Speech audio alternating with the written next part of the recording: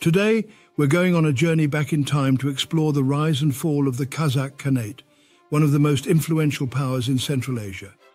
If you haven't already, please hit the subscribe button and the bell icon so you never miss our historical journeys. Let's dive in. The Kazakh Khanate, a Turkic Kazakh state, emerged in the 15th century in the region that is now modern-day Kazakhstan. It was a time of political upheaval and shifting alliances, but out of this chaos, the Kazakh Khanate rose to prominence. The Khanate was led by a succession of Khans or leaders who were often chosen for their military prowess and diplomatic skills. The first Khan was Janibek Khan, who, along with his brother Kerey Khan, broke away from the Uzbek Khanate to establish their own state. The Kazakh Khanate was a nomadic state, with its people moving across the vast steppes of Central Asia. They were skilled horsemen and warriors, and their mobility allowed them to control vast territories.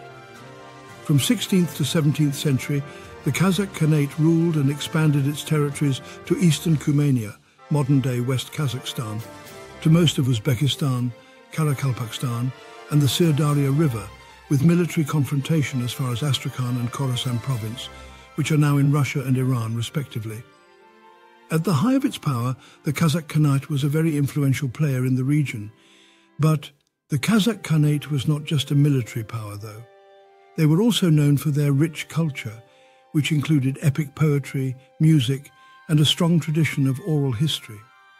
However, like all empires, the Kazakh Khanate faced its share of challenges.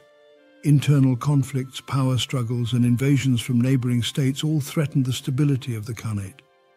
Despite these challenges, the Kazakh Khanate managed to survive and even thrive for several centuries, but by the late 17th century, the Khanate began to decline.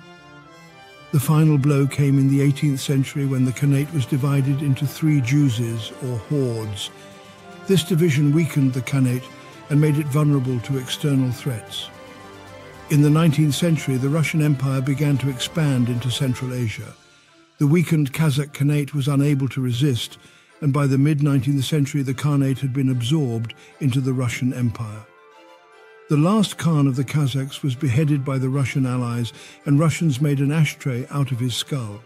And thus ended the story of a once powerful Kazakh Khanate, marking the end of an era in Central Asia. But the legacy of the Khanate lives on in the culture and history of modern-day Kazakhstan. Thank you for watching.